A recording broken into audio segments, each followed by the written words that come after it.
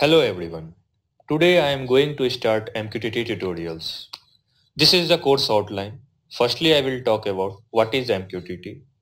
After that, we will see some unique properties of MQTT which is hardly find out in any other protocols. Thereafter, we will see brief story of MQTT and then we will look MQTT architecture and then we will dive into the MQTT message format and what is quality of service. Now, let's start with what is MQTT. MQTT is machine-to-machine Internet of Things connectivity protocol. It was designed as an extremely lightweight publish-subscribe messaging transport.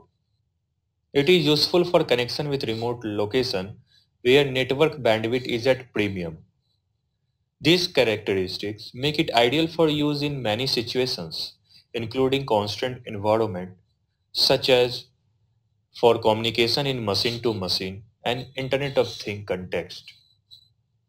The protocol runs over TCP IP or over other network protocol that provide lossless and bidirectional connections. So, the MQTT has unique features to be noted down. You can hardly find in other protocols. Like as I said before, it is a machine-to-machine -machine protocol. It is designed as a lightweight messaging protocols that uses publish-subscribe operation to exchange data between client and server. It does not require that the client and the publisher are connected at the same time. It is fast in data transmission, just like Messenger and WhatsApp message delivery is. That's it's a real time. Clients subscribe to a narrow selection of topics and only receive the information they are looking for. That's why MQTT is one of the most commonly used protocol in IoT projects. Now, before going further, let's see the brief history of MQTT. MQTT was invented by Dr. Andy Stanford Clark of IBM and Arlen Nipper of Arcom, which is now Eurotech.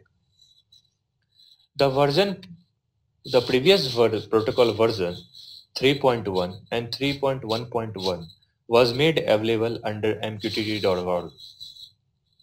In 2014, MQTT was adopted and published as an official standard by OASIS. As such, OASIS has become the new home for the development of MQTT. The OASIS technical community is tasked with the further development of MQTT.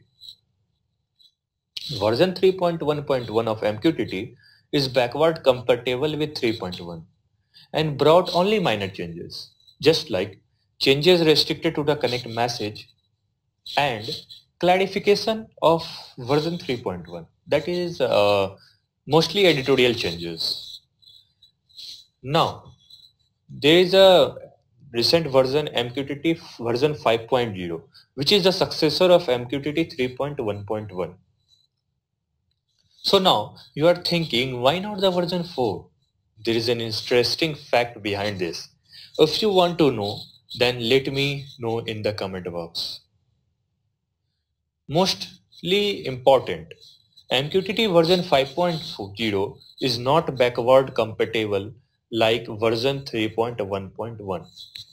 Obviously, too many new things are introduced so existing implementation have to be revisited. According to the specification, MQTT version 5.0 adds a significant number of new features to MQTT while keeping much more of code in the place. The major functional objectives are enhancement for scalability and large-scale system in respect to setup with thousands and millions of devices, improved error reporting, and of course, performance improvement and improved support for small clients. So now in the next tutorial, we are going to, we will going to see the MQTT architecture and also is how it works. Okay, thank you.